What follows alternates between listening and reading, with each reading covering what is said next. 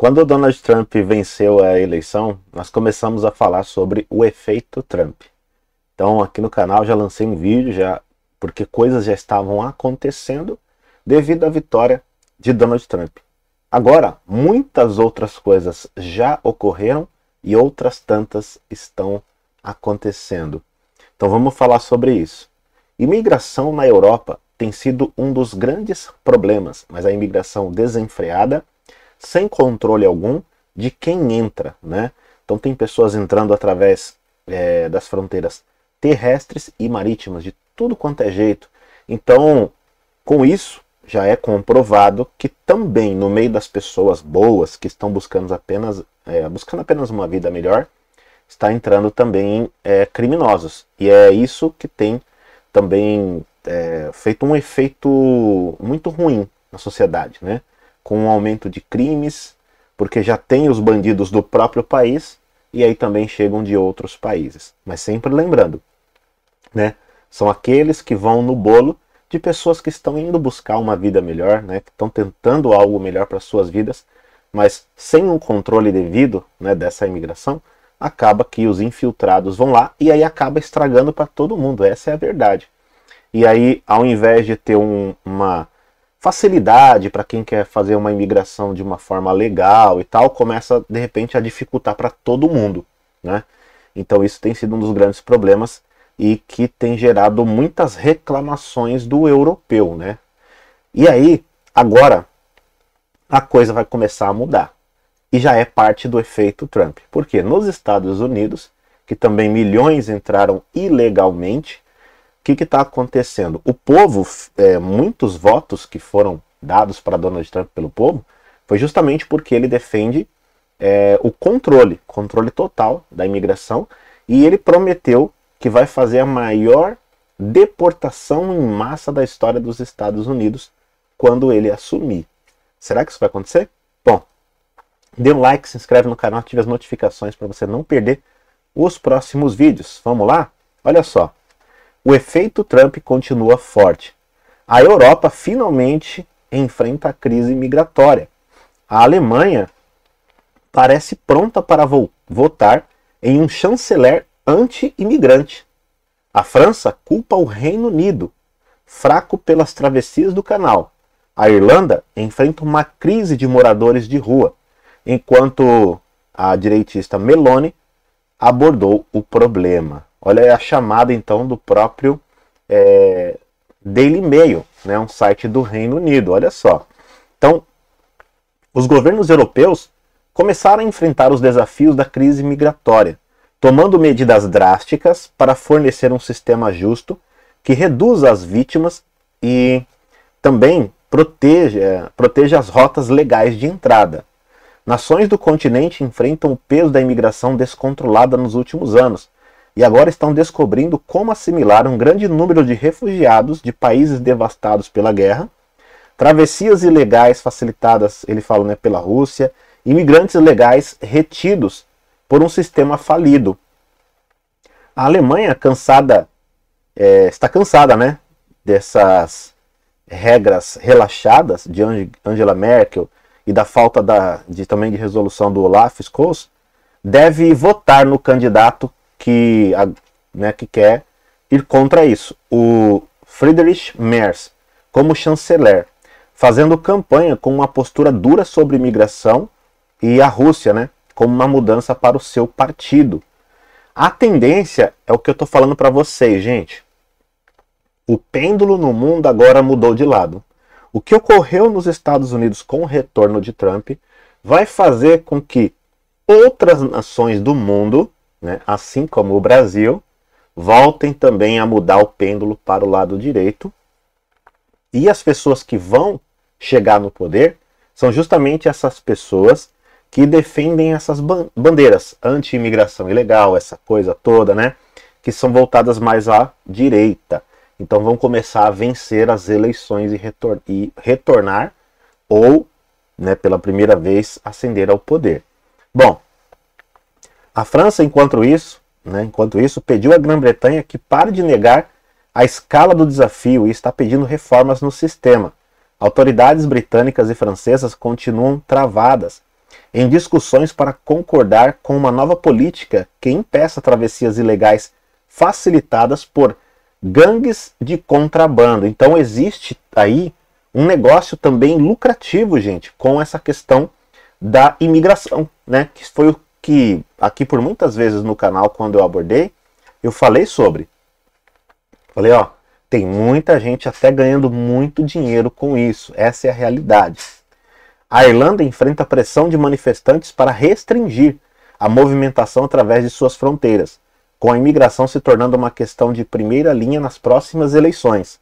Acabar com uma política de alojamento de imigrantes em hotéis, isso tem revoltado muitas pessoas, porque muitos migrantes, gente, tem, estão chegando em países com um cartãozinho de crédito dado por algumas instituições e tem ficado em hotéis. E aí o próprio povo, muitas vezes, né? Vamos, vamos supor ali o irlandês que tá tendo dificuldade financeira, tá com problema, às vezes não tem nem moradia, o cara fica louco da vida, fala, peraí, como assim? Tô olhando pro outro que tá vindo de fora e eu aqui. E isso tem né, dado muito problema dentro dos países, essa discussão, né? Isso levou centenas de homens solteiros em busca de asilo a dormirem ao relento nas ruas da cidade, o que levou a uma urgente reformulação da política. E a Itália sob a liderança da primeira-ministra, que eles falam de extrema-direita, Giorgia Meloni, já tomou medidas drásticas para lidar com o fluxo de migração, com campos para requerentes de asilo aguardando uma decisão estabelecidos na Albânia. Mas os desafios permanecem para os líderes agirem rapidamente e entregarem uma solução viável, justa e proporcional à tarefa. Então, o efeito Trump, todo essas, todas essas promessas que ele fez quanto à migração, principalmente, isso chega aos ouvidos ali das pessoas que estão insatisfeitas em seus países e ganha mais força. E os políticos desses países se espelharão em Donald Trump, já estão fazendo isso, e as próximas eleições a coisa pode mudar completamente. No Reino Unido está tendo já até uma petição lá gigantesca para que tenham novas eleições, porque eles já não querem mais esse primeiro-ministro que está lá, que é um cara totalmente de esquerda, né? E que essas bandeiras ele defende de fronteiras abertas, não sei o que lá. Então o povo já está querendo tirar ele do poder.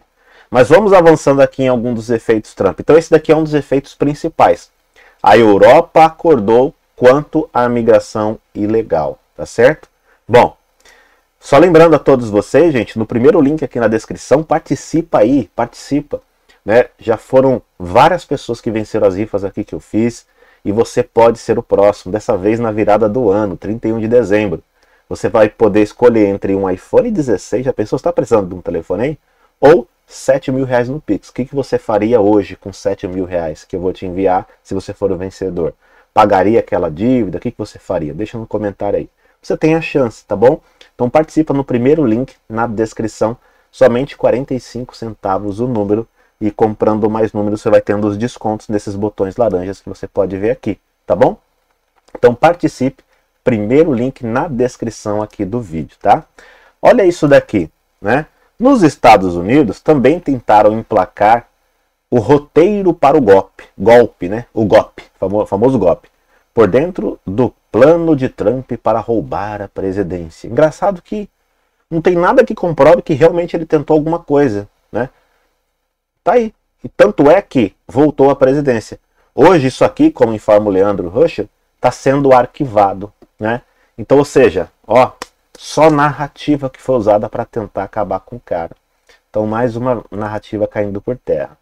Outra coisa aqui que o Daniel Temermori compartilha lá, ó, o efeito Trump sobre o Trudeau. O Trudeau, né, esse cara aqui que é de extrema esquerda, o primeiro-ministro lá do Canadá, que transformou o Canadá numa coisa assim terrível, né? Liberdade de expressão lá tá por um fio, tá cheio de problema e o Trump colocou ele contra a parede, porque o Trump chegou e falou: ó, nós vamos taxar tudo que vem dos, do Canadá e do México em 25%. Vai arrebentar. Trudeau já foi correndo lá. Aí, o que, que o, Trump vai fazer? Vai falar: bom, para que eu não faça isso, você vai ter que fazer isso, isso, isso, isso, isso, isso, isso. Você acha que não, gente? O Trump vai colocar na mesa ali o que ele deseja para que né, ele possa não seguir com as taxas sobre o país dele. Há também a presidente de esquerda do México também já foi correndo falar com o Trump para falar, por favor, não faz isso, não, não faz isso não. Outro ponto, né, o Joe Biden anunciou hoje, mas isso é parte do efeito Trump. O Netanyahu anunciou primeiro o cessar-fogo com o Hezbollah. E isso é um grande problema para o Irã, gente. Isso mesmo. Para o Irã vai ser um grande problema. Israel agora vai poder voltar a focar bem no Irã, tá certo? Que é a cabeça disso tudo, porque ele lutando contra os grupos ali é contra o corpo, a cabeça é o Irã. Então, cessar fogo agora. Israel deixou claro: se tiver alguma violação do acordo, Israel vai atacar com toda a força possível, tá certo? Então, foi aí parte do acordo que isso aí ficou bem claro. Bom, outro ponto, Califórnia torna roubos e furtos abaixo de 950 dólares crimes novamente. Né? Com a maioria esmagadora, a população da Califórnia é, votou e decidiu reverter as decisões desse, da Proposition 47, né, que haviam transformado roubos e furtos em contraversões. Porque era uma maravilha, os caras estavam vindo assim, ó, pegava as coisas na cara dura e ia embora porque é só uma contravenção. Agora não volta a ser um crime e a pessoa vai para cadeia se fizer esses roubos e furtos. Califórnia tinha virado assim, parece aquele negócio de filme, sabe? Os filmes futurísticos que mostravam os estados, as cidades com o crime imperando e não tinha solução. Tava assim, dessa forma. Essa é a grande realidade, tá certo? Mas é isso.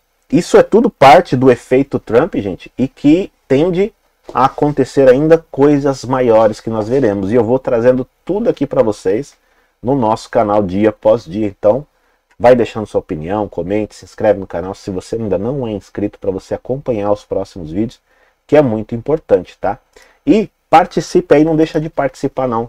Os últimos vencedores você pode ver na live que eu fiz, eu divulguei ao vivo, revelei aqui ao vivo, tudo certinho, né? Falamos com eles, Daniel Dantas e Eliseu, os vencedores da última rifa, e a próxima pode ser você.